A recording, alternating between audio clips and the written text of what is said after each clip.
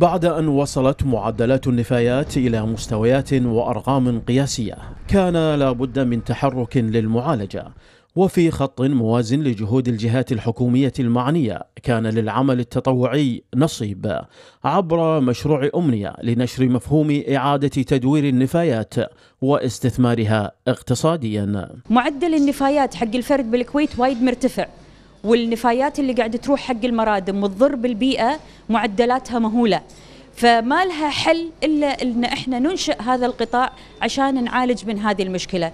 ونحتاج إن إحنا ننشر الوعي فأخذنا على عاتقنا إن إحنا ننشر هذه الرسالة في المجتمع. آخر إحصائية تقول إن معدل الفرد بالكويت كيلو ونص كل شخص يطلع منه نفايات يوميا.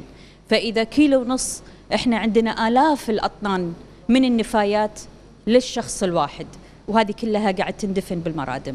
أعضاء فريق أمنية واصلوا هذا النجاح بإقامة أول مصنع لإعادة تدوير النفايات وكذلك بوضع بعض حاويات إعادة التدوير في الجمعيات التعاونية إلى جانب زيارات توعوية مدرسية.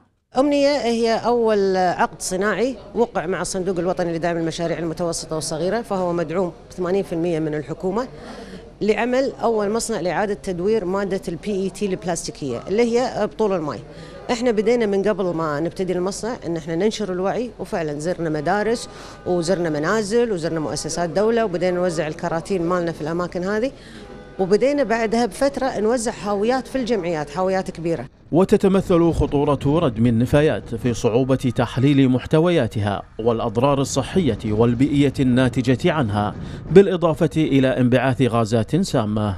لتلفزيون المجلس عبد الله العنزي.